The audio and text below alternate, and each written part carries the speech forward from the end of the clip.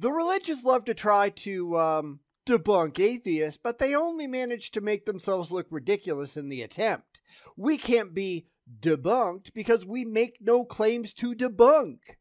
Then again, according to them, everybody has to be just like they are, even though they're not. They're just wrong all the time.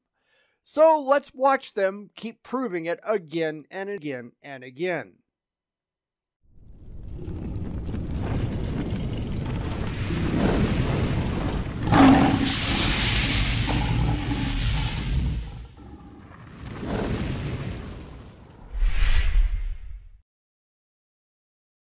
Welcome back to Reform Zoomers claimed answers to all atheist questions, or whatever the hell it is. But it's not actually answers, is it? It's just claims and empty ones at that.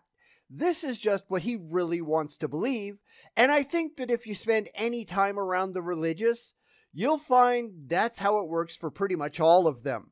They just have faith, and I'm sorry to say, but your faith doesn't matter. You will never convince them of that, of course, but it remains true nonetheless. So, let's get back to it. There's 4,000 gods that people believe in, and you're atheist to 3,999 of them. I just go one god further. Now, I have seen people use that before, but I still think it's dumb because it entirely misunderstands the religious. I've also seen people say, well, once you understand why you reject 3,999 other gods, you'll understand why I reject yours. And no, that's not true. The reason they reject 3,999 or whatever it is other gods isn't because they have rationally evaluated each and every one of them or even collectively and come to that conclusion based on the complete lack of evidence to support any of them that they probably don't exist, or at the very least that there's insufficient evidence to support them, it's because the God that they do believe in says that those others aren't real. There's never been any intellectual thought put into it at all. It's just faith and fifis wrapped up around emotional comfort. And it's still just stupid. So don't use that one. It gets you nowhere and is just false. Okay, this isn't the gotcha that you think it is, because the question of whether some sort of God exists is fundamentally different from the question of which religion is right about God. That assumes that any religion is right about God, any God, and that isn't valid until you can show that some religion out there is actually right about their gods. Because again, based on the evidence, which is all that ought to matter, none of them are. The only way to get to right and by that I mean factually true, evidentially supported, and objectively so in the real world that we all share, is to be able to show that it's actually true. And none of them are even trying to do so, if you notice. And I've made that point a lot. As I've said before, there is no scientific institute for the existence of any God. You only have churches, and churches don't care about evidence. They rely entirely on faith. Just believing in a God, like the little thing down the corner says, doesn't mean that there is a God, any more than believing that you are a magical pink unicorn means that you are. Your beliefs mean absolutely nothing if they're not based on demonstrable evidence. And I wish these people could figure it out. If God created everything, then who created God? That's not really the gotcha that people who say that think it might be, especially phrased like that. Of course, it doesn't work for the religious either, which we'll get to in a second. But the religious are relying on some very poor claims to justify their own beliefs. They will claim that something couldn't come from nothing, which absolutely nobody says except for the religious, so it's just a complete straw man. They will say that causality can't go back into the infinite, which again, they're the only ones who say that. The honest fact is, though, we don't know. We can only tell you how our particular instantiation of space time worked, at least going back to Planck time. Beyond that, we have no clue. And in fact, at least at present, we can have no clue. That's why the religious invented gods in the first place, at least one of many reasons, because they want to know what is, at present, inherently unknowable. Yet wanting to know a thing that you don't know doesn't mean that you know that thing. Let's just get into the religious side of it, though, because that's mostly what I've talked about so far. Well, God is defined as the uncaused causer. You don't get to just define reality into existence. You don't get to define real things however you happen to like them. You have to be able to go and look at them to see how they actually are. The second anyone says God by definition, they've lost they can show no conceivable way how they've come to that definition rationally. It's all just made up. Show me how you or anyone else got to that demonstrably. Because they can't do it. This is just an assertion, not a definition. And that is not remotely impressive. Everyone knows there needs to be a first cause at the beginning of the chain of all events in the universe. Do they, though? Because that's not actually how it works. This is just, well, it seems to me, which means absolutely nothing, coupled with, but everybody else is just like I am, which is patently false. That's the problem with living in a religious echo chamber or any kind of echo chamber at all, where the only voices that you hear are the ones that agree with you because you won't allow anyone who doesn't already agree with you inside. This is a general assumption that everything that we see today has always been that way because that's what we see today. And that's not how that works. That is not rationally defensible. In fact, I've had creationists tell me that evolution couldn't happen because the Earth couldn't have been any different ever because look out the window. Now that's about as stupid as saying night is imaginary because the sun's right there. Now, that's on a much shorter time scale, granted, but the simple fact is the planet hasn't always looked like it does today. The universe hasn't always looked like it does today. There comes a time where all of our experiences and our assumptions break down because things change. It's not like that. That's not how it works. Deal and it makes a lot more sense for that first cause to be a personal god who caused things for a reason, rather than some random impersonal force. Says who? Oh, I know you want there to be a personal god, but that doesn't mean that one exists. Remember, we're here after actual reality, not just emotionally comforting wishes and dreams. Again, it just makes more sense. It's just, well, it seems to me, and I want it to be that way. But that doesn't mean anything in actual reality. Everyone isn't just like you. In fact, increasingly, people are becoming very different from you, and hopefully that trend continues and religion goes completely extinct. Because wouldn't that be nice? Science disproves God. No, it doesn't. Science can't even address gods in that way, and the religious tend to just make them up anyhow. Science also doesn't disprove invisible, intangible, universe creating pixies. Anybody who uses this one is an idiot. Science doesn't disprove anything. Science only fails to confirm things. It fails to falsify things. Science evaluates evidence and builds models. Those models are always, by necessity, provisional. If we were to find more evidence tomorrow that completely overthrows the current paradigm, things would change because that's how science works. So I'm kind of going to agree with him here, at least as far as the words on screen goes. It is a bad argument, often based on ignorance. It's not really even an argument, though, because none of these really are. It's just a statement. So let's see his side of things, which I wager is going to be just as bad. Well, actually, the church invented modern science. There you go. In fact, the church had nothing at all to do with it. People did. The people might have been members of the church, they might have been believers in the religion, but correlation is not causation. As time went on, science left the purview of religion and became its own thing. The church fought tooth and nail to rein science in, killing and imprisoning scientists who were uh, showing that reality isn't how the church wanted it portrayed. And I can't think of a single case where science has confirmed the supernatural teachings of any church anywhere at any time. So this is just a nonsensical argument. All the founders of the scientific revolution deeply believed in God, and medieval theologians laid the groundwork for modern science by saying the world was governed by an intelligent creator. That means we can understand the world with our intelligence. And studying God led to studying the world because the world is God's creation. That's your claim. Now, I guess it's no surprise that he understands science no better than his supposed atheist strawman version of it, since none of this is stuff that is popular in atheist circles. I mean, I've heard that more times than I'd like to admit, and I've debunked it plenty, but just being an atheist doesn't mean that you have a brain in your head. The people don't matter, only the evidence does. However, whatever that initial state of science was, that has absolutely nothing to do with what science is today. This is, again, just the religious living in the past because they can't handle the present.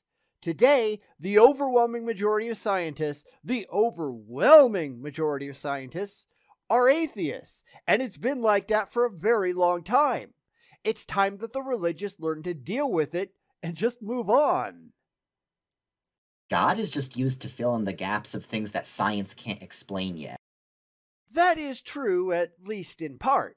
However, the religious tend to get emotionally attached to the God idea, and even when science does discover the truth, they are loath to just give up on their imaginary friends and go with reality. And that's not something to be proud of. This is why the whole God of the Gaps thing is so silly, where the religious just stuff their imaginary father figure in the sky into all the gaps in scientific understanding but those gaps are getting fewer and much farther between every single day. We don't understand everything. We never will, since every question answered poses a dozen more, but we're running out of places for the religious to hide their gods. And I think that's a very good thing. It just makes the religious look desperate, which, um, let's be honest, they are. Well, actually, God is the reason for everything, even things that science can explain. It's not one or the other. It's not like everything's explained by either science or God, and the more science can explain, the less God can explain. Really, science can explain almost everything, but God is still behind it all. That's just your claim, though, and this is a childish claim. But I'm still right! Yeah, that's just an empty assertion, nothing more. It doesn't matter how many times that you claim that your imaginary friend is responsible, because if you can't demonstrate that it's true with objective, verifiable evidence, then you're just yanking the whole thing out of your asshole. This is how the religious tend to work, right? We're right because we say so. But that doesn't mean anything. What you claim without any corroboratory support is irrelevant. Yet the religious, they can't understand that, can they? They don't care. They just really want to believe. Just because you invented a God that lives in your head and is the answer to positively everything according to you, that doesn't make any of it real. Because science explains the how and God explains the why. Says you. You haven't demonstrated that there is a why. You've only claimed it blindly. Again, this is why the religious go so wrong all the time because they just don't care. I know I keep saying that, but it is actually true. They're after comfort, not fact. So long as their tall tales make them happy, why the hell not, right? You will find theists that are completely fine with that, which I find eminently sad they know that they're full of crap, but they still embrace it because I don't know. They like crap, I guess? You like rolling in crap? I don't know. It sounds like a personal problem to me. If God is good, why can't he destroy all evil? Well, that's just the problem of evil.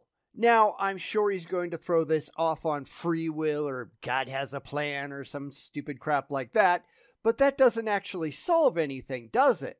Under an omniproperty God, there can be no free will because God has already foreseen everything, even every decision that you will ever make in your life. And if you can't do something God hasn't foreseen, then free will goes completely out the window. Now, I don't really want to get into a free will discussion here because that always turns into, well, it seems to me on all sides, and that's not very productive to begin with, so I'm not going to do that. Now, keep in mind that if God has these omni properties, it isn't that he can't destroy evil, as the question asks, it's that he doesn't want to. Because if he wanted to, evil wouldn't exist. And that just makes God a dick. Well, he eventually will. Says who? Now, I get that those are your beliefs, but that doesn't demonstrate that your beliefs are true. It's like saying, Harry Potter will eventually destroy Voldemort. Yeah, but that's a fantasy story, and it's not professing anything that's demonstrable in reality. Granted, the Bible is just a fantasy story too, so, um, yeah. Why can't he do it now? Because he'd have to destroy you. Yet God supposedly created me this way, right? Why would God create me in such a way that his only choice would be to destroy me down the line? Because again, your God is a dick. This really gets back to the kind of simplistic thinking that the religious are full of. I can come up with plenty of solutions for how uh, teleological evil could be destroyed, yet not destroy humanity at all. If I can come up with solutions just off the top of my head, then why can't God? Oh, right, because it's all just made up. These are just excuses invented to explain why the universe looks in a certain way that it absolutely should not look like if an all powerful omniproperty God actually existed. This is just nonsense. Anybody surprised? Why does God let any bad things happen? Because we deserve it. Says who? Because again, God supposedly made us this way. God had to know what would happen, and yet did it anyhow. That makes God a dick. Free will can't exist with an omniproperty God. That's why Christians have been trying, unsuccessfully, for many, many years to redefine God so that God isn't the asshole that he would have to be by definition. That's why the Catholics have been pushing some form of Molinism since the Middle Ages. Well, God isn't actually all knowing. Well, yeah, we've been seeing this for a while now. God isn't actually all powerful. To get around the problem that God seems bizarre if he can't violate logic, but as an all powerful God certainly would be able to if he were, in fact, all powerful, right? I've made that point many times before. If God wanted to make a married bachelor, then he'd just have to alter the definitions for either married or bachelor, and he could do it. After all, God not only had to make the stuff, but he had to make the concepts of the stuff. An all powerful God would be able to alter the concepts at will. Then again, lots of people are going to look at that if the religious even tried to make those changes and said, that's dumb. And they're not going to join the cult and they won't give them their money, and that's what they're really after to begin with. We know what this is all about. Sad to see that the religious just can't figure it out. Well, animals don't sin, so why do they suffer? Well, the Bible says all things will be restored, so if God is good, we can assume that they will be compensated. That's just a bald rationalization. Can we go to a child that's being beaten daily or sexually abused and say, well, it's okay if you get raped on the regular because someday you're going to get rewarded? Yeah, again, God is a dick. It isn't enough for that to be someday. These are just excuses to wrangle their way around the reality that we actually live in. This is what happens when they have no real answers. They're just backed into a corner and have to come up with an emotionally comforting story to tell themselves so they just don't feel so bad. It's just not consistent with their concept of a god. So, when they have problems, they just change things. But you can't do that with anything that's actually real because real things are what they are. But the religious don't care, do they? God is just a security blanket and they can alter it at a whim. It just proves that they don't actually think that God is real, or at least they should understand this. Then again, these people are idiots. How do you know that God isn't evil instead? Well, because evil is not a thing the way good is. Just like cold is just a lack of heat, and dark is just a lack of light, evil is just a lack of good. And for good to be objective, it needs to come from God. So a God who is objectively evil is logically impossible. And the bold rationalizations just keep coming. I just let that one play because I had an inkling what he was going to try to pull, and uh, I wasn't wrong. First off, good isn't a thing. Good is a subjective claim about things that we find favorable, just like bad is the stuff we don't like. It's always been that way, and it will always be that way. Here, he claims that good is whatever is in accordance with God's nature, but since he can't conceivably know what is in accordance with that nature, because he can't prove that the thing that he's claiming has a nature is actually real, this whole thing is just nonsense. Remember, the religious are just making this stuff up. God is whatever I want God to be. Oh, they'll deny that, of course, but that's demonstrably what's going on. How do we tell? We ask them, How do you know that? Because they have no demonstrable answers. They just want to believe it. Try explaining all the problems to them, and they won't care. Because faith is all they have, and faith is all they want when they really need to have some brains. And this whole thing is just dumb. Can God make a rock he can't lift? Well, you're just asking if God can contradict himself, like can God lie, or can God change, or can God make another God? The answer to all of that has to be yes. Again, this is just a problem with the omni properties, and those are things that the religious just made up to begin with. If the omni properties are true and God can do anything, then God should be able to contradict himself and then just change reality so it isn't a contradiction. Of course, that's just going to make people look at them funny and walk away, which they don't want to happen because they're losing a lot of money, so they just try to rationalize their way around it. How?